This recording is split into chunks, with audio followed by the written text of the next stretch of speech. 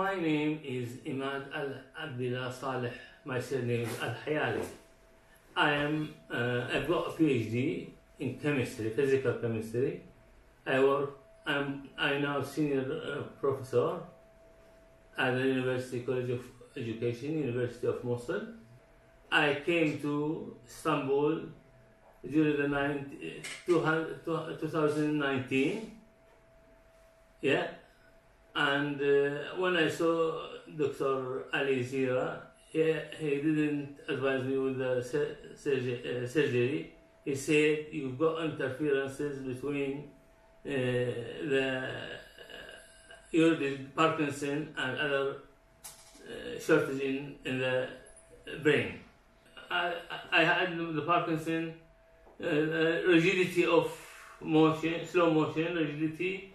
I couldn't speak, I couldn't do everything, just uh, standing and walking, working hard and slowly, slowly, until I, uh, even my speak was my, very low, I couldn't manage anything, couldn't manage anything, until I made the uh, deep brain stimulation of the Parkinson.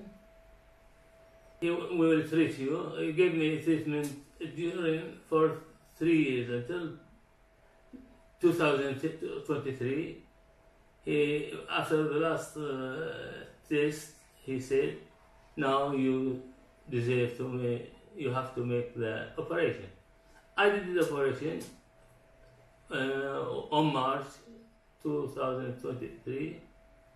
Until now, I am very good. I feel better. Uh, and now I managed to give the lecture to the university because I, I work in the University of Mosul. Uh, well, that's it. Yeah, I am I'm managing with my life uh, very normally. I recommend to do this sur- surgery for every person instead of losing his life uh, and uh, wasting his time and waiting for tablets. It, it, doesn't it doesn't make any change to your to the system of say to the person any person.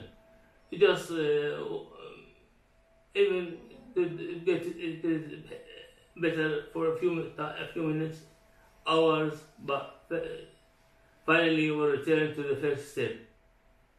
Now with the with the deep brain, deep brain simulation, now I am happy. Uh, it doesn't change or affect my life in any way. Mm, that's it.